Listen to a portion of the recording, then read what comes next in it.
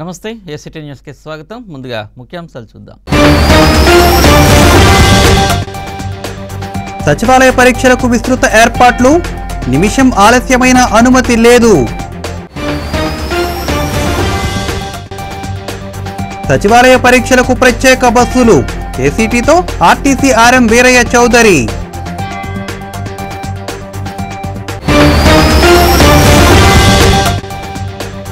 పేదల స్థలాలకు అడ్డుపడుతున్న చంద్రబాబు మంత్రి చెరుకువాడ శ్రీరంగనాథరాజు ధ్వజం.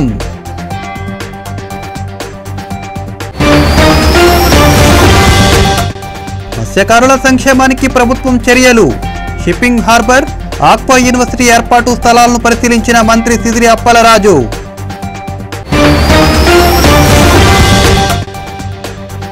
రేషన్ పంపిణీకి ఏర్పాట్లు పూర్తి డిపోల వద్ద కరోనా నియంత్రణ చర్యలు.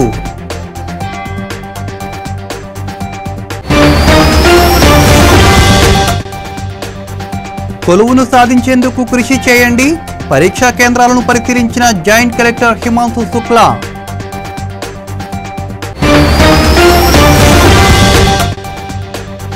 మంత్రి వెల్లంపల్లిపై అనుచిత వ్యాఖ్యలు భావ్యం కాదు. అంబికా కృష్ణ క్షమాపణలు చెప్పాలని ఆర్యవైశ్య ప్రముఖుల డిమాండ్.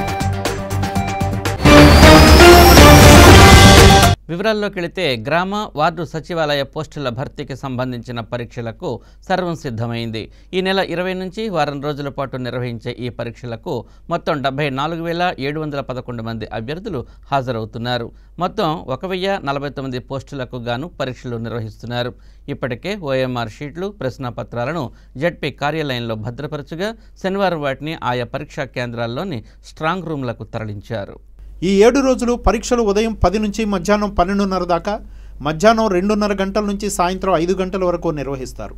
పరీక్షలకు నిమిషం ఆలస్యమైన అభ్యర్థులను పరీక్షా కేంద్రాల్లోనికి అనుమతించరని అధికారులు ఇప్పటికే స్పష్టం చేశారు. రెండు గంటల ముందుగానే పరీక్షా కేంద్రాల్లోకి అభ్యర్థులను అనుమతిస్తారు. కోవిడ్ అనుమానిత లక్షణాలు ఉన్నా పాజిటివ్ వచ్చిన వారికి ప్రత్యేక గదులు ఏర్పాటు చేశారు. సెల్ ఫోన్ క్యాలిక్యులేటర్ వంటి ఎలక్ట్రానిక్ వస్తువులను నిషేధించారు. అన్ని పరీక్షా కేంద్రాల వద్ద నూట నలభై నాలుగో సెక్షన్ అమల్లో ఉంటుంది. ఐసోలేషన్ గదిలోని ఇన్విజిలేటర్లకు పీపీఈ కిట్లు మాస్కులు గ్లౌజులు అందుబాటులో ఉంచుతారు. పరీక్షలను కట్టుదిట్టంగా సమర్థవంతంగా నిర్వహించేందుకు ఏర్పాట్లు చేసినట్లు జిల్లా కలెక్టర్ రేవు ముత్యాలరాజు తెలిపారు. అభ్యర్థులు ప్రశాంత వాతావరణంలో పరీక్షలు రాసి ఉత్తీర్ణత సాధించాలని ఆయన ఆకాంక్షించారు. జిల్లాలో ఈ నెల ఇరవై తేదీ నుంచి ప్రారంభం కానున్న సచివాలయ పరీక్షలకు హాజరయ్యే అభ్యర్థుల సౌకర్యార్థం ప్రత్యేక ఆర్టీసీ బస్సులను ఏర్పాటు చేసినట్టు ప్రజా రవాణా సంస్థ ఆర్ఎం ఏ వీరయ్య చౌదరి తెలిపారు. శనివారం ఆయన ఎస్టీ న్యూస్తో మాట్లాడుతూ రోజు తిరిగే రెండు వందల ఇరవై ఒక్క బస్సులకు అదనంగా మరో తొంభై ఎనిమిది బస్సులను అభ్యర్థుల కోసం తిప్పుతున్నట్లు తెలిపారు. జిల్లాలోని ఏలూరు జంగారెడ్డిగూడెం తాడేపల్లిగూడెం భీమవరం క్లస్టర్స్ వారీగా పరీక్షా కేంద్రాలు ఏర్పాటు చేసిన ప్రాంతాలకు ఈ బస్సులు తిరుగుతాయన్నారు. అన్నారు. అలాగే పరీక్షలు రాసిన అనంతరం అభ్యర్థులు తమ ప్రాంతాలకు వెళ్ళేందుకు వీలుగా కూడా బస్సులు అందుబాటులో ఉంచుతున్నట్లు తెలిపారు. ఇరవయో తారీఖు నుంచి గ్రామ మరియు వార్డు సచివాలయ పరీక్షలు ఇరవై ఆరు తారీఖు దాకా జరుగుతున్నాయి. ఈ సందర్భంగా ఏపీఎస్ఆర్టీసీ వెస్ట్ గోదావరి రీజన్ ప్రత్యేక బస్సులు నడుపుతున్నాము. మొత్తం మూడు వందల ఇరవై ఎనిమిది బస్సులు మామూలుగా మనం రెండు వందల ఇరవై ఒక్క బస్సులు నడుపుతాము. ప్రత్యేకంగా అదనంగా తొంభై ఎనిమిది బస్సులు మొత్తం కలిసి మూడు వందల ఇరవై బస్ ఇరవై ఎనిమిది బస్సులు ఈ సందర్భంగా నడపబోతున్నాము. తర్వాత అన్ని సెంటర్లకి మొత్తం నాలుగు క్లస్టర్లు ఉన్నాయి. ఏలూరు జంగారెడ్డిగూడెము తాడేపల్లిగూడెం భీమవరం క్లస్టర్లకి మామూలుగా అభ్యర్థులు వస్తున్నారు. ఈ అభ్యర్థుల కోసం చెప్పి వాళ్ళు ఉదయం ఎనిమిది గంటలకి ఎగ్జామినేషన్ సెంటర్లకు వచ్చే విధంగాను తర్వాత మధ్యాహ్నం ఎగ్జామ్ కోసం పన్నెండు కల్లా ఎగ్జామినేషన్కి వచ్చే విధంగా బస్సులన్నీ ఏర్పాటు చేయడం జరిగింది. అంతేకాకుండా ఎగ్జామినేషన్ అయిపోయిన తర్వాత పన్నెండు గంటలకి పన్నెండున్నరకు అట్లనే సాయంత్రం ఐదు గంటలకు కూడా వాళ్ళు తిరుగు ప్రయాణానికి కూడా ఏర్పాటు చేశాము. దీనికోసం అని చెప్పి మామూలుగా అన్ని బస్ స్టేషన్లు కూడా హెల్ప్ డెస్క్లు ఏర్పాటు చేయడం జరిగింది. అన్ని రూట్లో కూడా బస్సులు సంఖ్యను పెంచడం జరిగింది. ఎటువంటి అసౌకర్యం లేకుండా బస్సులో ప్రయాణం చేయొచ్చు. మామూలుగా బస్సులో మామూలుగానే శానిటైజర్ కూడా ఏర్పాటు చేయడం జరిగింది. అట్లనే మా యొక్క రిక్వెస్ట్ ఏంటంటే అందరూ కూడా మాస్కులు విధిగా ధరించి ప్రయాణం చేయాల్సింది కోరుతున్నాము. అంతేకాకుండా రేపు ఎక్కువ మంది మామూలుగా పరీక్షలు రాస్తున్నారు కాబట్టి రేపు మామూలుగా ప్రతి గంట గంటకి కూడా ఇక్కడ మామూలుగా మానిటర్ చేయడానికి మానిటరింగ్ సెల్ అనేది ఒకటి ఏర్పాటు చేయడం జరిగింది. ప్రతి గంటకు కూడా ఎన్ని బస్సులు నడుపుతున్నాము అట్లానే ఎక్కడైనా అదనంగా బస్సులు అవసరం ఉందా అని తెలుసుకోవడానికి అని చెప్పి ఏర్పాటు చేయడానికి వీలుగా ఏర్పాటు చేయడం జరిగింది. అంతేకాకుండా మామూలుగా భీమవరం వద్ద డిప్యూటీ సీఎంఈ గారు ప్రత్యేక ఆ క్లస్టర్ యొక్క ఆపరేషన్స్ మానిటర్ చేస్తారు. Tadepalligudem క్లస్టర్కి senior officer Neelima garu monitor చేస్తారు. నేను ఇక్కడ హెడ్ క్వార్టర్స్లో నేను ఇక్కడ ఆపరేషన్స్ మానిటర్ చేస్తున్నాను అదేవిధంగా జంగారెడ్డిగూడెం క్లస్టర్కి డిఎం జంగారెడ్డిగూడెం డిఎం గారు అన్ని సర్వీస్ సర్వీసులకి ఎటువంటి అంతరాయం లేకుండా అన్ని విషయాలు చూసుకుంటారు అనమాట ఆ విధంగా ఏర్పాటు చేయడం జరిగింది. తర్వాత ఎవరు కూడా ఎటువంటి ఇబ్బంది లేకుండా ఈ యొక్క పరీక్షలకి హాజరవచ్చని చెప్పి సందర్భంగా నేను అందరూ తెలియజేస్తున్నాను. తర్వాత రేపే కాకుండా ఇరవై తారీఖు వరకు కూడా ఈ పరీక్షలతో పాటు ఎంసెట్ ఎగ్జామ్స్ కూడా ఉన్నాయి. ఎంసెట్ ఎగ్జామ్స్ కూడా ఎటువంటి సౌ సౌ- అసౌకర్యం కలగకుండా అందరికి కూడా ప్రత్యేకంగా బస్సులు ఏర్పాటు చేయడం జరిగింది. కాబట్టి ఈ అవకాశాన్ని సద్వినియోగం చేసుకోవాల్సింది కోరటమైంది రాష్ట్రంలో పేదలకు ఇళ్ళ స్థలాలు అందకుండా టీడీపీ వారితో కోర్టులో కేసులు వేయించి ప్రతిపక్ష నేత చంద్రబాబు ఆపుతున్నారని రాష్ట్ర గృహ నిర్మాణ శాఖ మంత్రి చెరుకువాడ శ్రీరంగనాథరాజు విమర్శించారు. పశ్చిమ గోదావరి జిల్లా ద్వారకా తిరుమల శ్రీ వెంకటేశ్వర స్వామి వారిని శనివారం మంత్రి దర్శించుకుని ప్రత్యేక పూజలు నిర్వహించారు. అనంతరం ఆయన మీడియాతో మాట్లాడుతూ చంద్రబాబు అధికారంలో ఉన్నప్పుడు ఒక్క సెంటు భూమి కూడా పేదలకు ఇచ్చిన పాపాన పోలేదని ఇప్పుడు కూడా వారికి ఇళ్ళ స్థలాలు అందకుండా అడ్డుకుంటున్నారని ఆరోపించారు. ఆలయాలపై కూడా రాజకీయాలు చేయటం సిగ్గుచేటని మంత్రి రంగనాథరాజు పేర్కొన్నారు.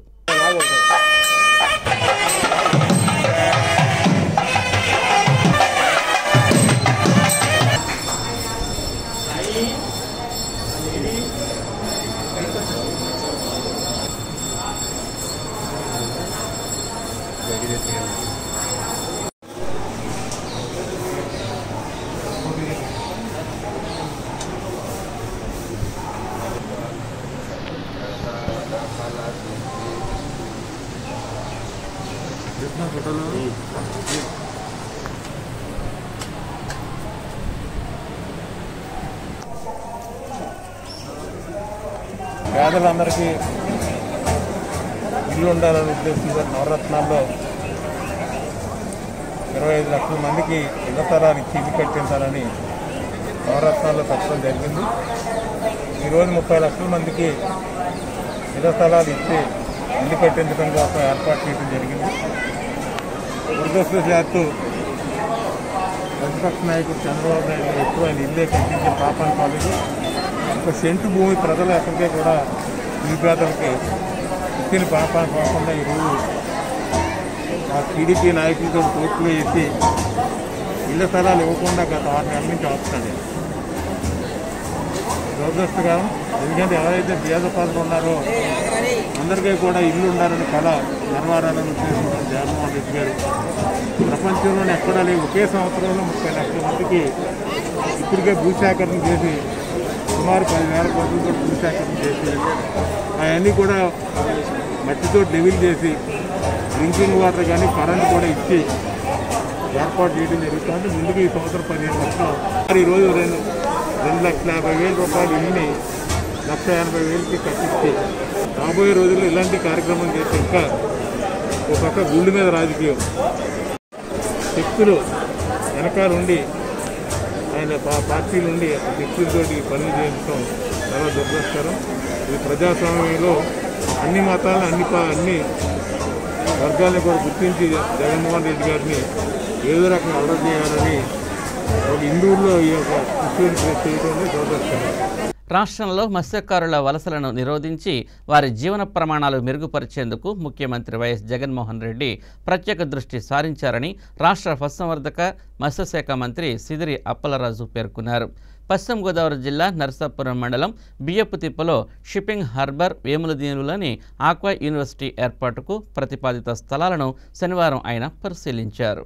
రాష్ట్రంలోని తీర ప్రాంతాలను అభివృద్ధి చేయడంతో పాటు మత్స్యకారులకు మెరుగైన జీవనాన్ని అందించేందుకు జగన్మోహన్ రెడ్డి ప్రభుత్వం బృహత్తర ప్రయత్నాలకు శ్రీకారం చుట్టింది. షిప్పింగ్ హార్బర్లు ఫిష్ ల్యాండింగ్ సెంటర్లు వంటి వాటిని ఏర్పాటు చేసేందుకు చర్యలు చేపడుతోంది. దీనిలో భాగంగా పశ్చిమ గోదావరి జిల్లాలో ఫిషింగ్ హార్బర్ ఆక్వా యూనివర్సిటీ ఏర్పాటు చేయాలని ప్రభుత్వం నిర్ణయించడంతో శనివారం మంత్రి అప్పలరాజు ఆ ప్రాంతాల్లో పర్యటించారు. ఆక్వా రైతులతో ముఖాముఖి సమావేశం నిర్వహించారు. ఫిష్ ల్యాండింగ్ జెట్టీలకు బదులు ఫిషింగ్ హార్బర్ నిర్మాణానికి సాధ్యాసాధ్యాలను ఆయన పరిశీలించారు. ఈ సందర్భంగా మంత్రి మాట్లాడుతూ రాష్ట్రంలో ఎనిమిది ఫిషింగ్ హార్బర్లు మూడు పోర్టులు మూడు ఫిష్ ల్యాండింగ్ సెంటర్లను ఏర్పాటు చేస్తున్నట్లు తెలిపారు. కార్యక్రమంలో జిల్లా కలెక్టర్ రేవు ముత్యాలరాజు మత్స్యశాఖ commissioner K. Kannababu Narsapuram MLA Mudunuri Prasadaraju Razole శాసనసభ్యులు Rapaka Varaprasad sub collector Viswanathan DCCB chairman Kouru Srinivas మత్స్యశాఖ జేడి రాధాకృష్ణ తదితరులు పాల్గొన్నారు. మొన్ననే జీవో కూడా పాస్ చేశారు. కేబినెట్లో అప్రూవ్ అయిన తర్వాత. మరి అలాగే ఇప్పుడు మనం ఆ స్థలాన్ని సైతం పరిశీలించడానికి మనం ఇక్కడి నుంచి బయలుదేరుతున్నాం. అతి త్వరలో we are calling the size of people maybe in couple of days ఒక వారం పది రోజుల్లో సైజ్ ఆఫ్ పీపుల్ పిలిపించి ఇక్కడ ఉన్నటువంటి బియ్యపు తిప్ప ఎఫ్ఎల్సీని హార్బర్గా మార్చడానికి. మరి అలాగే శ్రీకాకుళం జిల్లాలో ఎన్ఎం జెట్టి అంటే నువ్వులరేవు మంచిలపేట వద్ద అది కూడా నిర్మాణం జరుగుతుంది జెట్టి దానిని కూడా పూర్తి స్థాయి మార్చడానికి సైసెఫ్ వాళ్ళకి డిపిఆర్ ప్రిపేర్ చేయడానికి ఆదేశాలు జారీ చేస్తాం. వాళ్ళ రిపోర్ట్స్ని బేస్ చేసుకుని ముఖ్యమంత్రి గారితో చర్చించి హార్బర్ని ఖచ్చితంగా ఇక్కడ మత్స్యకారులకి ప్రసాద్ రాజు గారి ఆధ్వర్యంలో దీన్ని ఒక బహుమతిగా ఇస్తామని చెప్పి సందర్భంగా మీకు అందరికి తెలియజేస్తూ. ఆగిపోయిందంటే ఫస్ట్ ఇక్కడికి మన విశ్వనాథన్ సబ్ అప్పుడే జాయిన్ అయ్యాడు. జాయిన్ అవ్వగానే వచ్చి చెక్ చేయడం జరిగింది. సో ఈ ల్యాండ్కి సంబంధించి ఇష్యూస్ అయితే ఏం లేదు సార్. ఎమ్మెల్యే గారితో కూడా టచ్లోనే ఉన్నాము. మనకి ఇక్కడికి ఆక్వా యూనివర్సిటీ కానీ ఫిషింగ్ హార్బర్ కానీ వస్తే చాలా పెట్టుబడి వస్తుందండి. ఎందుకంటే నేను అంతకుముందు నెల్లూరు జిల్లాలో కలెక్టర్గా ఉన్నప్పుడు జువల్ దీనికి ప్రపోజల్స్ పంపించాం. మనకేంటంటే ఈరోజు అనౌన్స్ చేస్తే రేపటికి వచ్చి పని జరగదు. సో దయచేసి ఇక్కడ ఉన్న పబ్లిక్ అర్థం చేసుకోవాల్సింది ఏంటంటే ఇప్పుడు ఒక కంపెనీ ఒక ఒక ఇన్స్టిట్యూట్ వాళ్ళు వచ్చి చెక్ చేస్తారు. ఎక్కడ స్టార్ట్ చేయాలి ఎలా స్టార్ట్ చేయాలి అనేది చెక్ చేసి వాళ్ళ ఒక రిపోర్ట్ ఇస్తారు. ఈ ఏరియాలో ఇటు సైడ్ మన ఫిషింగ్ హార్బర్ కట్టవచ్చు అనేది ఒకటి రిపోర్ట్ ఇచ్చిన తర్వాత దాన్ని బేస్ చేసుకుని డీటెయిల్డ్ ప్రాజెక్ట్ రిపోర్ట్ అని ఇంకోటి ఉంటుంది. డీటెయిల్డ్ ప్రాజెక్ట్ రిపోర్ట్ తయారు చేసిన తర్వాత సో దాన్ని గవర్నమెంట్ స్టేట్ గవర్నమెంట్ నుంచి సెంట్రల్ గవర్నమెంట్ వరకు వెళ్ళి అప్రూవల్ వచ్చిన తర్వాత నెక్స్ట్ టెండర్స్ నెక్స్ట్ పని జరుగుతుంది. మనకి జనరల్గా ఏంటంటే ఈరోజు మినిస్టర్ గారు వచ్చారు. ఇంకొక పది రోజులు అయింది ఇరవై రోజులు అయింది పని ఎందుకు స్టార్ట్ కాలేదు? కొంచెం ప్రాసెస్ ఉంటుంది. ఎందుకంటే నెల్లూరులో నాకు టూ ఇయర్స్ పట్టింది. ప్రపోజల్ స్టార్ట్ చేసిన దగ్గర నుంచి శాంక్షన్ అయ్యి మొత్తం ల్యాండ్ అంతా అక్కడ ఎనభై ఎకరాలు చూసాము. ఎనభై ఎకరాలు ల్యాండ్ ఇచ్చి అంతా చేసేదానికి టూ ఇయర్స్ పట్టింది. ఇంకా మిగతా ల్యాండ్ ఎక్విజిషన్కి సంబంధించి కానీ మిగతా అన్నిటికీ కూడా ఒక టీం కింద ఫామ్ అయ్యి ఎక్కడికి ఎవరికి ఇబ్బంది కలగకుండా చేస్తామని హామీ ఇస్తూ అలాగే సర్టిఫికేట్ ఆఫ్ కల్టివేషన్కి సంబంధించి ఎమ్మెల్యే గారు ఆల్రెడీ చెప్పున్నారు. సో ఆ సర్టిఫికేట్లు కూడా త్వరలోనే ఒక ప్రోగ్రామ్ పెట్టేసి అది కూడా ఇప్పించడం జరుగుతుంది ఇచ్చిన తర్వాత ఎలక్ట్రిసిటీ డిపార్ట్మెంట్ అంతకుముందు నేను ఆ డిపార్ట్మెంట్లో కూడా పనిచేశాను. సో వాళ్ళతో మాట్లాడకుండా త్వర త్వరగానే కనెక్షన్ ఇచ్చే ఏర్పాట్లు కూడా చేస్తామని హామీ ఇస్తూ ధన్యవాదాలు జిల్లాలో సెప్టెంబర్ నెలకు సంబంధించి రెండో విడత రేషన్ సరుకులను ఈ నెల ఇరవై తేదీ నుంచి ఇరవై ఎనిమిదో తేదీ వరకు పంపిణీ చేయనున్నారు. ఇప్పటికే బియ్యం కార్డులున్న వారితో పాటు ఇటీవల కొత్తగా కార్డులు పొందిన వారికి సరుకులు ఇవ్వనున్నారు. జిల్లాలో పన్నెండు లక్షల ఎనభై మూడు వేల ఆరు వందల డెబ్బై ఎనిమిది మంది బియ్యం కార్డుదారులకు రెండు వేల రెండు వందల ఇరవై రేషన్ షాపుల ద్వారా నిత్యావసర సరుకులను పంపిణీ చేయనున్నారు. కార్డులోని ఒక్కో సభ్యుడికి ఐదు కిలోల చొప్పున బియ్యం ఒక్కో కార్డుకి కిలో శనగలు ఉచితంగా పంపిణీ చేస్తామని డిఎస్ఓ సుబ్బరాజు అధికారులు తెలిపారు. కరోనా వైరస్ నియంత్రణ చర్యల్లో భాగంగా రేషన్ డీలర్లకు మాస్కులు గ్లౌజులు శానిటైజర్లను అందించినట్లు తెలిపారు. కోవిడ్ నైన్టీన్లో భాగంగా మనకి కార్డుదారులందరికీ కూడా నిత్యావసర సరుకులు ఉచితంగా అందించాలనే ఉద్దేశంతో మన రాష్ట్ర కేంద్ర ప్రభుత్వాలు రెండు కలిసి ఏప్రిల్ నెల నుంచి ప్రతి నెల రెండు సార్లు ని- ఉచితంగా నిత్యావసర సరుకులు పంపిణీ చేయడం జరుగుతుంది. మన రాష్ట్రంలో మన జిల్లాలో పన్నెండు లక్షల డెబ్బై నాలుగు వేల తెలుపు కార్డులు ఉన్నాయి. ఈ పన్నెండు లక్షల డెబ్బై నాలుగు వేల తెలుపు కార్డులకి కూడా నిత్యావసర సరుకులు ఉచితంగా పంపిణీ చేయడం జరుగుతుంది. ఇప్పటి వరకు పదకొండు విడతలు నిత్యావసర సరుకులు బియ్యం కందిపప్పు అలాగే శనగలు ఉచితంగా పంపిణీ చేయడం జరిగింది. ఈ- ఈ ఈ నెల పన్నెండో విడత ఈ నెల ఇరవయో తారీఖు నుంచి ఇరవై ఎనిమిదో తారీఖు వరకు కూడా బియ్యం మరియు శనగలు కార్డుదారులందరికీ కూడా ఉచితంగా పంపిణీ చేయడం జరుగుతుంది. ఇందులో భాగంగా కార్డుదారులందరూ కూడా రేషన్ షాప్ వద్దకి మాస్కులు ధరించి అలాగే షాప్ వద్ద సోషల్ డిస్టెన్స్ కనీసం ఒక వ్యక్తికి ఇంకో వ్యక్తికి మధ్య రెండు మీటర్లు దూరం ఉండేటట్టుగా ఆ డిస్టెన్స్ పాటించి నిత్యావసర సరుకులు పొందవలసిందిగాను అలాగే రేషన్ షాపుల వద్ద ఒకేసారి ఐదు నుంచి పది మంది కంటే ఎక్కువ కార్డుదారులు వేచి ఉండకుండా వారి ఏరియాలోని వాలంటీర్ల సహాయంతో ఆ టైంకి షాప్ వద్దకు వెళ్ళి నిత్యావసర సరుకులు పొందవలసిందిగా కూడా తెలియజేయడమైంది.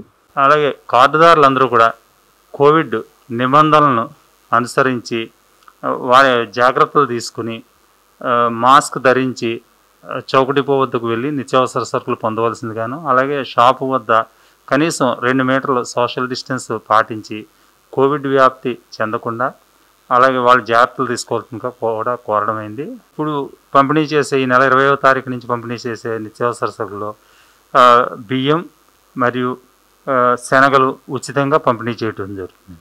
జిల్లాలో గ్రామ వార్డు సచివాలయాల్లో ఖాళీగా ఉన్న ఒక వెయ్యి నలభై తొమ్మిది పోస్టుల భర్తీకి ఆదివారం నుంచి నిర్వహించనున్న పరీక్షలకు విస్తృతమైన ఏర్పాట్లు చేసినట్లు జాయింట్ కలెక్టర్ హిమాంశు శుక్లా తెలిపారు. జిల్లా కేంద్రమైన ఏలూరులో ఏర్పాటు చేసిన పరీక్షా కేంద్రాలను శనివారం ఆయన పరిశీలించారు. స్థానిక అశోక్ నగర్లోని అమలోద్భవి హై స్కూల్లో ఏర్పాటు చేసిన కేంద్రాన్ని పరిశీలించి సంతృప్తి వ్యక్తం చేశారు. ఈ సందర్భంగా ఆయన ఎస్టీ న్యూస్తో మాట్లాడుతూ పరీక్షా కేంద్రాల్లో అన్ని సౌకర్యాలు కల్పించినట్లు తెలిపారు. అభ్యర్థులు రెండు గంటల ముందుగానే పరీక్షా కేంద్రాలకు చేరుకోవాలని ఆయన సూచించారు. ప్రశాంతమైన వాతావరణంలో ఇప్పటి వరకు చదువుకున్న వాటిని మననం చేసుకుంటూ పరీక్షలు రాసి ఉత్తీర్ణత సాధించాలని అభ్యర్థులకు ఆయన సూచించారు.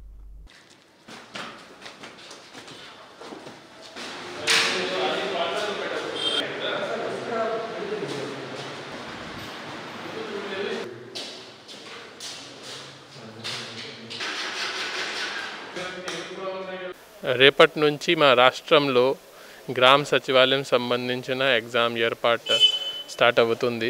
దీనికి సంబంధించిన అన్ని సౌకర్యాలు అన్ని ఏర్పాటు పకడ్బండిగా జరుగుతున్నాయి. ఈరోజు కొన్ని ఎగ్జామినేషన్ విజిట్ చేయడం జరుగుతుంది. సో అరేంజ్మెంట్ చూస్తే అన్నీ బాగానే ఉన్నాయి. పకడ్బందీగా ఉన్నాయి. అది పే పే మన స్టూడెంట్స్ ఎయిట్ నుంచి రావచ్చు.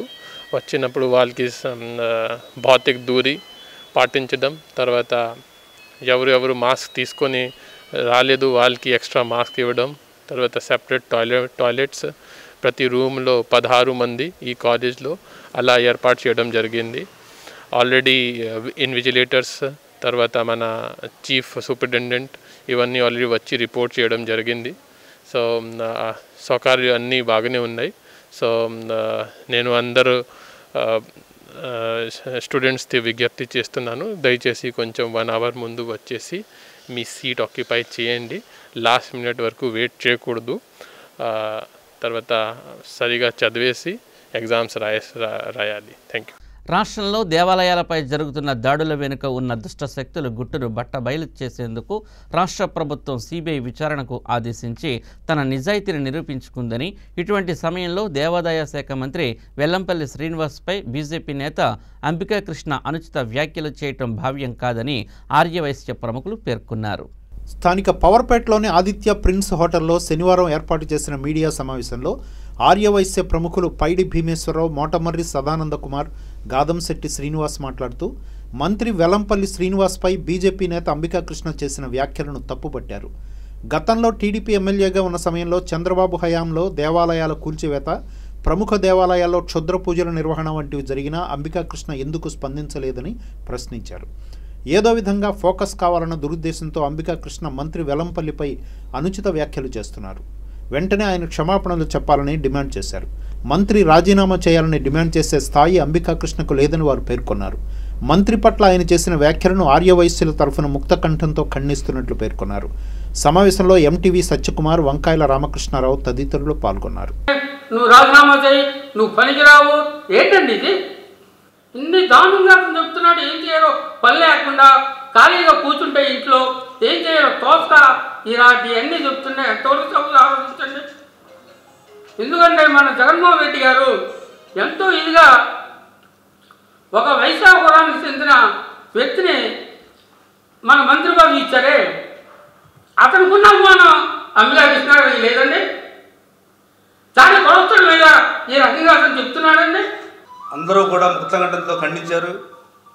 వైఎస్ఆర్సీపీ పార్టీ కూడా ఖండించడం జరిగింది. ఈ గవర్నమెంట్ కూడా ఖండించడమే కాకుండా సిబిఐ దర్యాప్తు కోసం ఆదేశించిందంటే దానిలో ఎంత చిత్తశుద్ధి ఉందో ఈ గవర్నమెంట్కి అర్థమవుతుంది. మేమందరం కూడా ముందుగా జగన్మోహన్ రెడ్డి గారిని అభినందిస్తూ మరి ఈ అంతర్వేది సంఘటన జరిగిన తర్వాత ఇది ఒక దీనిలో ఒక రాజకీయ కుట్ర ఉందని మేమందరం కూడా భావిస్తున్నాం. నూట యాభై ఒక్క సీట్లతో గెలిచినటువంటి జగన్మోహన్ రెడ్డి గారు అనేకమైనటువంటి సంక్షేమ పథకాలు ప్రవేశపెడుతూ ఉంటే అందులో ప్రపంచమంతా అతలాకుతలమైపోయి కరోనాతో ఇబ్బంది పడుతున్న తరుణంలో మన మంత్రివర్యులు ఆళ్ళ నానిగారు ప్రతి చోట కూడా తను సొంతంగా తిరుగుతూ ఎంతోమంది ప్రాణాలను కాపాడి ఈ యొక్క విపత్కర పరిస్థితి నుంచి బయటికి రావాలి అని చెప్పి పాటుపడుతూ ఉంటే మధ్యలో మరి ఈ అంబికా కృష్ణ గారు మరి ఇంతకుముందు కాంగ్రెస్ పార్టీలో ఉన్నాడు ఆయన. తర్వాత తెలుగుదేశంలో పార్టీలోకి వచ్చాడు. ఇప్పుడు బీజేపీలోకి వచ్చాడు. ఇప్పుడు ఆయనకి ఏంటంటే ఏదో ఒక పదవిలో ఉండి ఏదో ఒక ఫోకస్ అవ్వాలి. ఆయన కాన్సెప్ట్ అది. సచివాలయ వ్యవస్థను ప్రవేశపెట్టి ఇంటి వద్దకే పాలన తీసుకొచ్చిన ఘనత ముఖ్యమంత్రి వైఎస్ జగన్మోహన్ రెడ్డికే దక్కుతుందని ఏలూరు కార్పొరేషన్ పీఓ పిల్ల హరిబాబు అన్నారు. స్థానిక నలభై డివిజన్లోని సచివాలయాన్ని శనివారం ఆయన సందర్శించారు. దరఖాస్తు చేసుకున్న మూడు గంటల్లోపే రేషన్ కార్డు మంజూరైన మహిళకు దాన్ని అందజేశారు. ఈ సందర్భంగా హరిబాబు మాట్లాడుతూ క్షణాల్లో పనులు జరిగి ప్రజలకు సేవలు అందేలా సచివాలయ వ్యవస్థ దోహదపడుతోందని చెప్పారు. పేదరికమే కొలమానంగా ప్రభుత్వ సంక్షేమ ఫలాలు అందజేస్తున్నట్లు తెలిపారు. కార్యక్రమంలో సచివాలయ అడ్మిన్ మనోజ్ వెల్ఫేర్ కార్యదర్శి జాస్మిన్ తదితరులు పాల్గొన్నారు. సచివాలయ వ్యవస్థ ఎంత చక్కగా పనిచేస్తుందనే దానికి నిదర్శనంగా ఈనాడు గత పాతికేళ్ళుగా ఎటువంటి రేషన్ కార్డు లేని కుటుంబానికి ఈ సచివాలయంలో అప్లై చేసిన వారం రోజులనే రేషన్ కార్డు మంజూరు చేసి ఇవ్వడం జరిగింది. అట్లాగే ఎన్నో సంవత్సరాలుగా వితంతు పెన్షన్ కోసం తిరుగుతున్న ఒక వితంతు సోదరికి ఇవాళ పది రోజుల్లోనే పెన్షన్ మంజూరు చేసి పెన్షన్ పత్రాలు అందజేయడం జరిగింది. ఇవాళ ఏలూరు నగర ప్రజలకు మేము చెప్పేది ఒకటే మీకు ఏ అవసరం ఉన్నా మీకు స్థానికంగా ఉన్న సచివాలయ సిబ్బందిని సంప్రదించండి. ఇవాళ సచివాలయ వ్యవస్థ ప్రవేశపెట్టిన తర్వాత మనం చూస్తున్నాం ఇతర కార్యాల చుట్టూ ఎవరు దూర తీరాలకి ప్రయాణం చేయాల్సిన అవసరం అయితే లేదు. స్థానికంగా మీకు అందుబాటులో ఉన్న సచివాలయం సంప్రదించండి. అక్కడ ఉన్న వాలంటీర్లు సచివాలయ సిబ్బంది మీకు అన్ని సౌకర్యాలు ఏర్పాటు చేస్తారు. అట్లాగే మీకు రావాల్సిన ప్రతి రాయితీని ఏ ఏ టైంలో ఏ రాయితీ వస్తుందని కూడా మీకు క్లియర్గా చెప్పడం జరుగుతుంది. రాయితీలు పొందే విషయంలో ప్రభుత్వ సంక్షేమ పథకాలు పొందే విషయంలో ఎవ్వరూ ఎటువంటి సందేహం పడనక్కర్లేదు. ఎందుకంటే ప్రతి పేదవాడికి సంక్షేమ పథకం అందించాలనే జగన్మోహన్ రెడ్డి గారి సంకల్పం. అట్లాగే ఈ నియోజకవర్గంలో మన డిప్యూటీ సీఎం శ్రీ ఆళ్నాని గారు ప్రత్యేక పర్యవేక్షణలో ఈ కార్యక్రమాలన్నీ జరుగుతున్నాయి. ఇవాళ ఇంత త్వరగా రావడం అనేది చాలా అద్భుతమైన విషయం. పేద ప్రజలు ఎంత సంతోషిస్తున్నారు. అట్లాగే మూడు గంటల్లోనే ఒక రేషన్ కార్డు కూడా ఇవ్వడం జరిగింది. కాబట్టి ఎంత ట్రాన్స్పరెంట్గా సచివాలయ వ్యవస్థ పనిచేస్తుంది అనేది స్థానికంగా ఉన్న సోదరిమణులు సోదరులందరూ గమనించాలి. అట్లాగే ఈ సచివాలయ వ్యవస్థను కాపాడుకోవడానికి మనం అందరం గట్టిగా కృషి చేయాలి. ఏదైనా చిన్న చిన్న లోటుపాట్లు ఉంటే వాటిని సరిచేయడానికి మేము అందరం ఉన్నాం. కాబట్టి ప్రతి చిన్న సమస్యని భూతద్దంలో చూడొద్దు. పెళ్ళై ఐదేళ్ళు అయింది మాకు రేషన్ కార్డు లేదు. వారంటీ రవికుమార్ వల్ల స్రవంతి స్రవంతి మేడం వల్ల సచివాలయ సచివాలయం వల్ల మాకు రేషన్ కార్డు వచ్చింది. ముఖ్యమంత్రి జగన్మోహన్ గారు రెడ్డి రెడ్డి గారి వల్ల మాకు రేషన్ కార్డు వచ్చింది. వీళ్ళందరికీ మాకు ధన్యవాదాలు. ఇరవై ఐదు సంవత్సరాల నుంచి నాకు రేషన్ కార్డు లేదు. నేను చాలా చోట్లకు తిరిగాను. ఎక్కడ కూడా ఇది జరగలేదండి. తర్వాత శ్రవంతి మేడం గారి దగ్గరికి వెళ్ళి చెప్పాను. ఆవిడ వాలంటీర్లకి వాళ్ళకి చెప్పి సచివాలయానికి పంపించి వాళ్ళని చాలా ఇది చేసి నాకు రేషన్ కార్డు వచ్చేలా చేశారు. మా ఇంటికి వచ్చి నాకు అన్ని విధాలా చెప్పి నా చేత ఈ రేషన్ కార్డు వచ్చేలా చేశారు. మన ముఖ్యమంత్రి జగన్మోహన్ రెడ్డి గారు వచ్చాక నాకు వచ్చిన ఈ తొలి రేషన్ కార్డు ఇది. నేను చాలా సంతోషపడుతున్నాను. ఇప్పుడు చిన్న విరామం తీసుకుందాం.